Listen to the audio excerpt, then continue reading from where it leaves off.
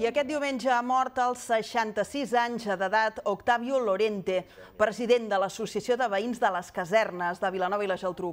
Lorente, a part de ser un activista veïnal, es va caracteritzar per ser un estudiós de la història local. Especialment va fer recerca documental sobre la caserna militar de Vilanova, l'actual pavelló municipal.